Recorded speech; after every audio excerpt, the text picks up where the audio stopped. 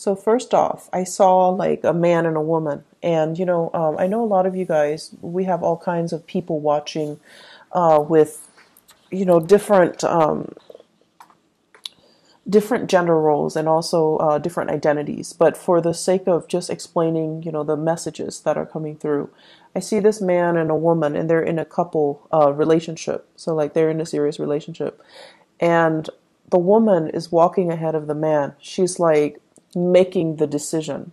She is um, trying to move the relationship along in a very specific path. And I feel like for some of you, uh, this basically means that you know you're you're following the lead, or you yourself are taking the lead to move the direction, the, the relationship in a specific direction.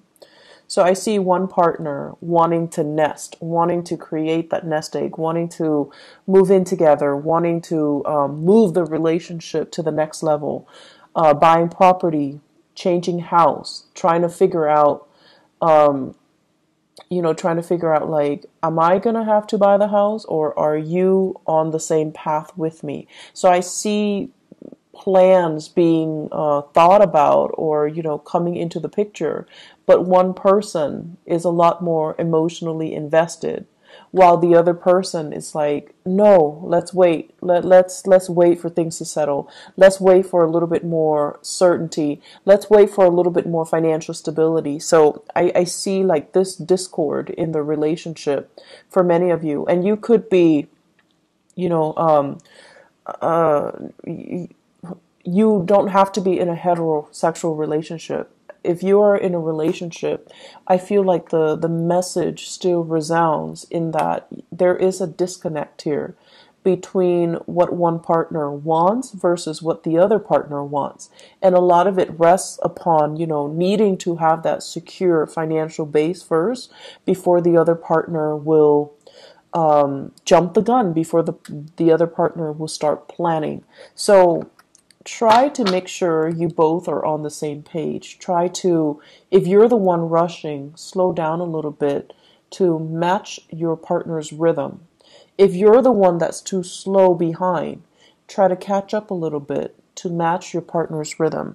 So there is a little bit of internal tug of war, and I feel like it, it, it can be mitigated if both partners kind of slow down and reassess what their partner needs and you know try to accommodate okay? Um, i feel the energy for this month on the romantic front like on the relationship the romantic front it deals heavily with uh, finding somebody that uh, that you want to you know share your life with. Finding somebody that you're actually very compatible with and i also see people um, especially Virgoan men, regardless of you know whether or not you're dating men or, or, or women, if you're a Virgoan man, I feel like you might be interested in somebody. It's like admiring somebody from from afar, um, liking somebody, and doing a lot of cute little nice things for them. But the other person seems to me to be like distracted with another relationship or they're distracted with somebody else or they kind of put you in a friend zone. And so they're not really they see what you're doing but they're they're not really uh, reciprocating. So it's like unrequited love or it's like you're admiring them from afar and you don't know how to um, approach them. But i also feel the majority uh, from for many of you who are in that situation where you're admiring somebody from afar it seems like they they've got somebody else that they're seeing, that they're dating, that they're thinking about. Okay, so make sure they are completely single before you jump the gun on that. Okay, so I, I am sensing that. So um, let's go into this reading here, and um, it's it's very romance relationship oriented. And so let me talk about this because I, I find this very fascinating. So I believe Okay, so this one is up here. Yeah. So here is two very interesting energies. Excuse me, I dropped the card. Okay, so we have here the King of Wands, and then we have here the Queen of Cups. So this is almost like what I was seeing earlier, the, the couple, okay? one person, this is a, a very public conscious type of a person. They care about status. They care about, you know, their reputation. They care about their achievements. They're very, very public, uh, career oriented. And so the things that define this person is their ability to lead other people, their ability to garner respect, their ability to kind of like sit on their throne and, you know, um, dictate what other people need to do. So they don't have to lift, lift a finger. They have minions and other people that they're overseeing. They're overseeing their progress. They're overseeing their development. So there's a lot of responsibilities here um, on this person's shoulders. However, they gladly take on the responsibility because deep down they know that the responsibility comes with a commensurate, you know, salary, commensurate compensation for their hard work. And so this person is still trying to build their career. They have a lot of things that they're looking at. They're still as well assessing, scoping the horizon to see, you know, what are the um, near future challenges that I'm going to have to face? What are the long term challenges that I'm going to have to face, etc. So, this person is not in that nesting stage just yet. Okay, so for some of you, you might be dealing with a uh, a fire sign, a Sagittarius, an Aries, or a Leo, or you're just dealing with the embodiment of this person where they're not yet ready, not just yet, to settle down they think about children, they think about family, and they think about, you know, trying to recreate that space or that environment. But I do feel like they're a little bit apprehensive. And then you have this person who's very, very childlike, uh, a little bit on the naive end, very emotional. Okay wants what they want and they want it now. So it's somebody who's a little bit more, I want to say impulsive, but it's like an emotional impulse. It's sort of like somebody who loves to take care of things, but they love to take care of things for the wrong reason. They love to feel wanted and needed and constantly um, um, being like the, the object of somebody's affection or, or you know, the uh, the world in somebody's eyes. So they're doing it for the wrong reasons. And when it's in the reverse, uh, we have here a water sign. So this is a Pisces, a Cancer, or a Scorpio. And this is somebody as well that is, I feel they're telling you, I want this, I want that. And you're like, let's wait on it. Let's wait. It's not the time just yet but they're not really taking no for an answer. And so if you're telling them no, they might guilt trip you into doing something or into, you know, succumbing to, to doing whatever it is that they want. So I feel this dynamics playing out in your relationship. I also feel this is like a family situation that you're dealing with for this month. Family member telling you, I want this, I want that, can you deliver? And you're just like, Yes, but the timing is not right now. And Virgos, you guys are really, really good at telling people, um, you know, like no, not right now, or you know, you you you're very, very good at telling people whether or not the timing is right. Okay, so what I'm feeling is somebody wants something from you. You're not at a point where you can deliver, but right now you're just like, I don't think the timing is right. I don't think it's uh, the a wise thing to do right now. So can we put it on the back burner? Can we revisit this conversation at a later date? And the other person is taking it very personally, rather than than hearing what you're saying, which is yes, but not right now. They're hearing no, and they're shutting down, and they're taking it personally, and they feel like you're being mean. So what do you do in this situation? One partner needs to slow down for the other, and the other partner needs to catch up in order for both people to be on the same page, okay? So, what I see here is you've got a relationship, and this is like, um, this is a relationship that stands the test of time. When it's in the upright position, it's a very good card that basically means through thick and thin, we're going to be there together. And it's also a situation where the two of you have been through many, many, many challenges and hardships with each other. But you know, you're you're stronger because of it. You know what the other person is capable of. When it's in the reverse position, I feel for many of you, you're in a new relationship where you're not yet sure, you haven't been tested. You're not yet sure um, if if it's the right person or you're not yet sure that the other person is I, I'm sensing here somebody saying like frivolous somebody who who's not realistic or somebody that you know you like them you're attracted to them but they haven't been through a, enough hardships or you haven't experienced enough hardships with them to really know what they're capable of, to really know who they are, to really understand their character. So there's a situation here where I feel like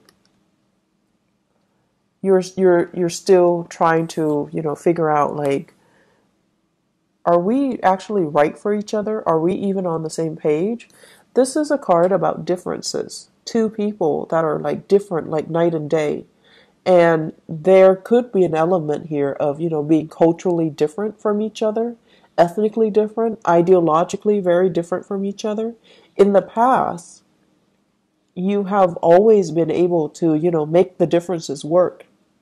But now, in the month of May, it's like when the pressure is on, are you still able to move forward in the same rhythm or at the same pace? When one partner is emotionally distraught, is the other partner going to step up and, you know, carry the weight of the relationship? Or will the relationship kind of crumble? So I feel there are big elements here about, you know, needing to test your partner, uh, feeling like you're not really sure about the footing of this relationship. I have here uh, Cancerian and Sagittarian energies, okay? So when it comes to the Cancer person, I feel like, you know, they're they're with you. They're with you 100% of the way.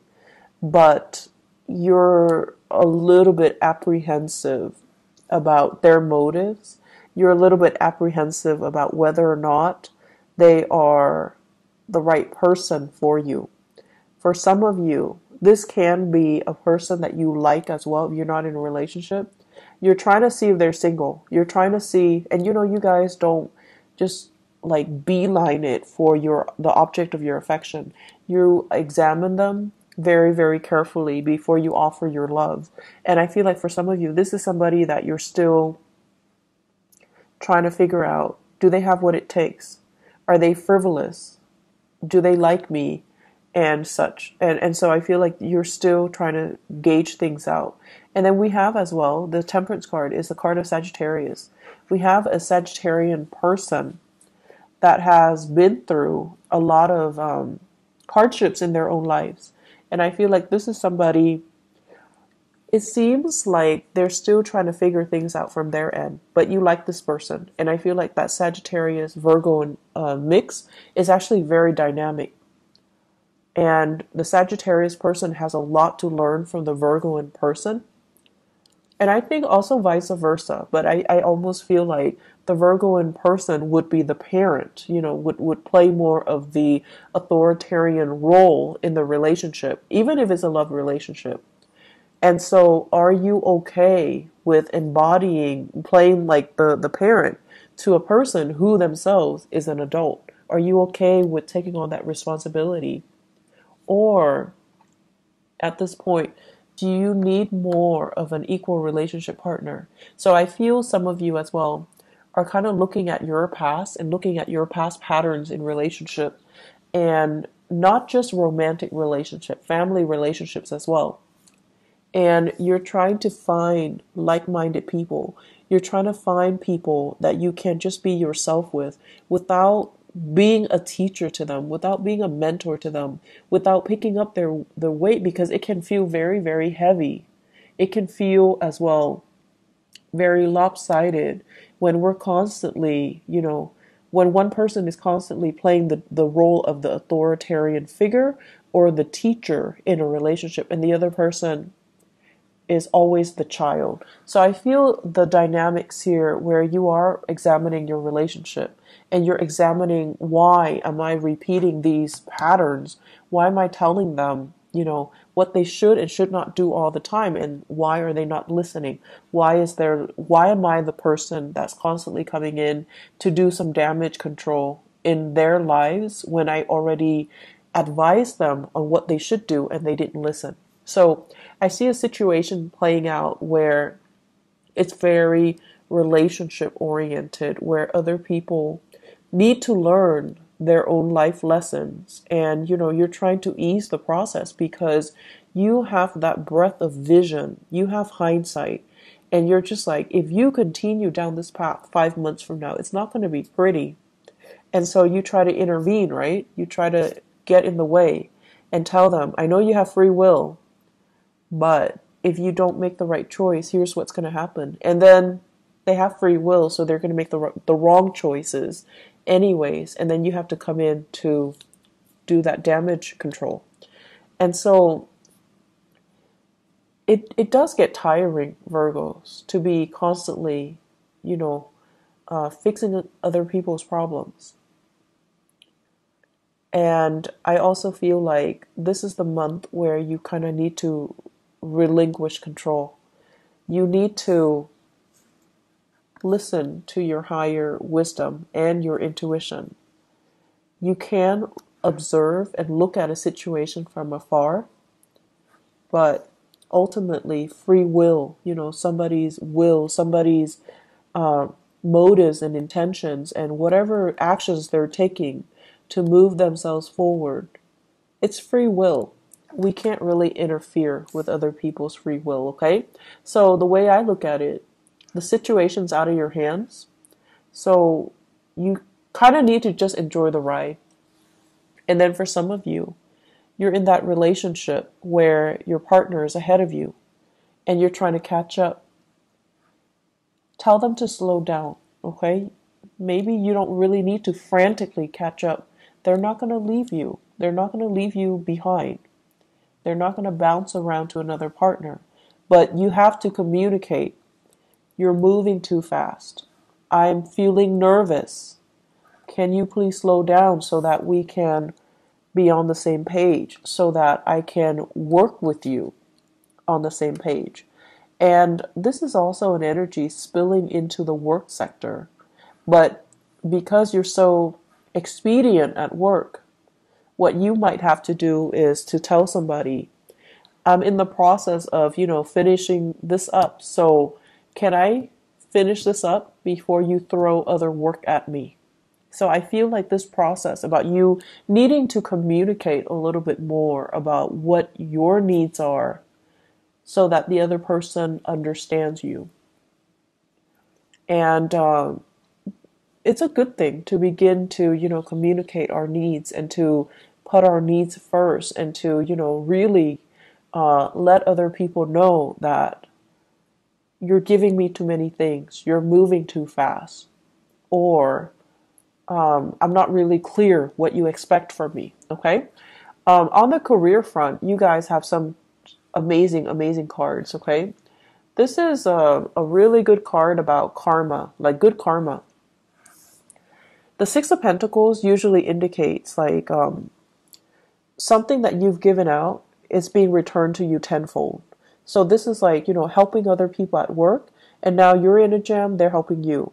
Or helping somebody and, you know, they're telling other people about you. They're kind of like um, spreading your name around in a very good way and then it opens up new opportunities for you. Getting a letter of recommendation, getting really positive performance reviews, and getting really, really positive uh, feedback based on the work that you're doing. Okay, so I feel like in the work front, you you guys don't need to worry at all. And I also feel there's quite a bit of travel that's picking up for you on the work front. So I don't know if you're doing a lot of um, cross country travel, even, or if you're traveling around um, just a lot for work. I feel like you should be compensated as well. Okay, so you know, write down the odometers, write down um, try to document everything that you're doing so that you can get a- adequately compensated okay so be very diligent about doing the bookkeeping the housekeeping part of it so that you can get your uh, your reimbursement okay um, one other thing that I want to mention as well when it comes to you know the remainder of this reading I feel like you're in a work environment where people are a little bit like you know how some people even when you communicate with them they're they're going to hear what they've already decided they're going to hear. So you might be telling them something totally totally different but in one ear out the other they're only going to hear what they've already decided they're going to hear. So i see a lot of frustration here on the work front where you're dealing with people who are coming in very emotionally distraught they don't know how to solve problems. They can't really think clearly. They can't think straight. And they're looking to you to be the fixer for their problems. And they're not cooperative, nor are they at a point where emotionally they're able to tell a, a story or to, you know, provide a narrative in a coherent manner. So they're either emotionally very distraught and they can't really answer straightforward questions. So it's going to be very, very confusing. So you're going to be dealing with some opposition here between he said, she said, and then, you know, um, narrowing down a, a clear, logical narrative to a specific story. What exactly happened? How did it happen? To whom did it happen to? Because you're not getting a straight answer from this one person. I feel this is playing out in their uh, in the work environment. Okay, so we have here water sign Pisces, Cancer, Scorpio. Somebody that is a little bit distraught. You might be called upon to help this person out in some way to kind of sort out some things in their lives, or the the best thing to do is to detach yourself a little bit and try to remove yourself from the situation because they're leading you down a very very confusing path.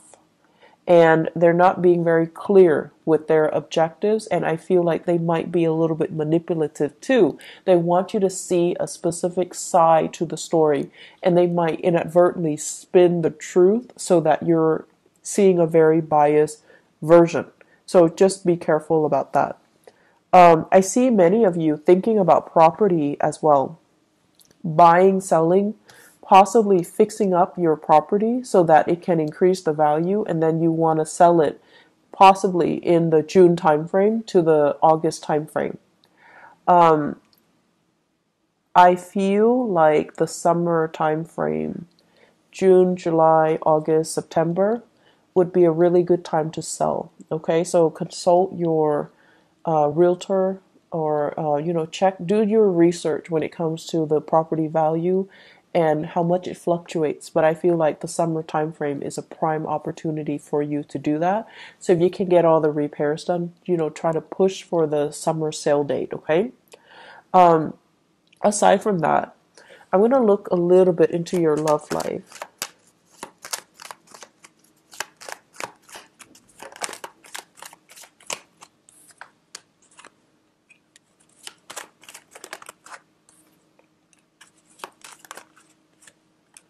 Okay. So, Virgos, for those who are single, what I have here Knight of Pentacles and Seven of Swords. Okay. So, the Knight of Pentacles, I feel like this is your energy where you are offering your love and your affection to uh, another person. This can be an air sign, an Aquarius, a Gemini, or a Libra. And this is a person that is um, I, I feel I the seven of swords i don't feel like this is a negative card. I feel like this is a person who's a little bit uh, mischievous who's a little bit like uh, who, who does a lot of things to kind of poke fun at you in a joking manner.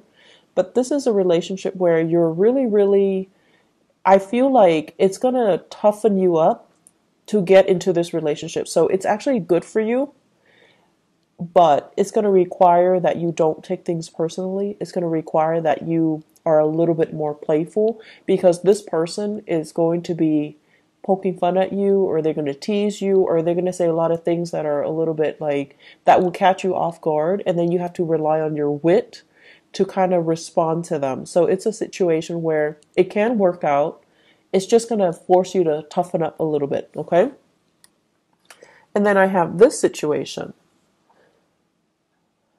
where I feel this is you rather than another person. So, where you are excitedly going after a person. So, the Knight of Wands is um, somebody that's, you know, very passionate. So, you have somebody in your midst who's culturally different from you. Um, you're very sexually attracted to another person, okay, and they're they're culturally very different from you, very different from you.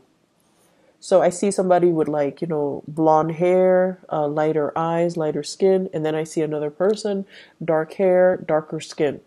So you could be the light hair person or you could be the dark hair person, but I definitely see things here that are, you know, culturally different or ethnically different or just the way that you look, you're very, very different from each other.